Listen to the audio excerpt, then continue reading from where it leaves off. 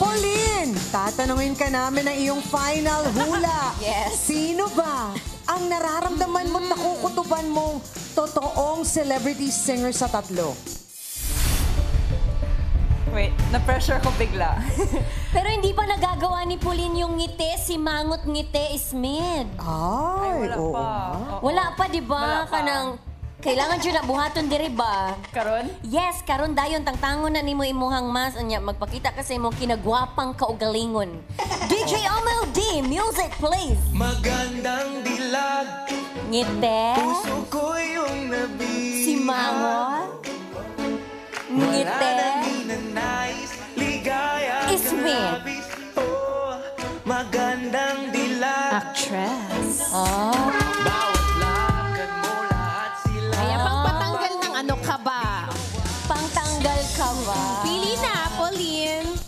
So ayan, eto na. Stick ka ba sa one? Sabi mo kanina, you'll always be my number one ang clue mo. Yes. Sorry, number one. I'll have to change my mind. After I heard number three, I, I had a change of heart. So I'm gonna I'm gonna go with number three also. Iniwan niya si Ryan. I sorry, Ryan. Well, di na kayo one, one, oh, di, Baka pwede mo pang i-convince si Pauline, Ryan. Huwag na, may, okay lang, may boyfriend ka eh. Personal mo naman, pwede namang tulungan lang. Kasi hindi rin ako sigurado sa sagot ko eh. At least honest siya. All right, Pauline, is that your final answer? Uh, as Ryan said, final promise to the Lord. number three. Okay. Kaya naman, sabay-sabay na natin silang kilalanin. Mga tago-kanta,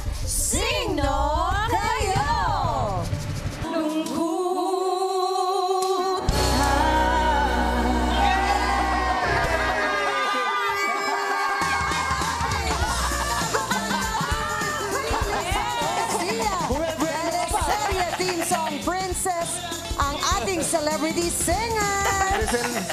Ay, Lizelle, bumati ka muna sa ating madlang people. Hello, madlang people! Nice to be back! Ang galing, Lizelle! Kamusta feeling? How's the feeling na... Ano nakakaba?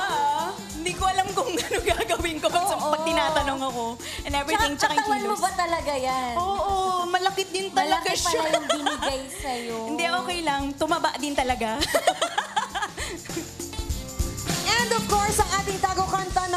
na si Lizelle Trinidad ay ang ating tawag na tanghalan weekly finalist. Ganon din si tago kanta number two na si Regine Guse. Thank you sa inyo.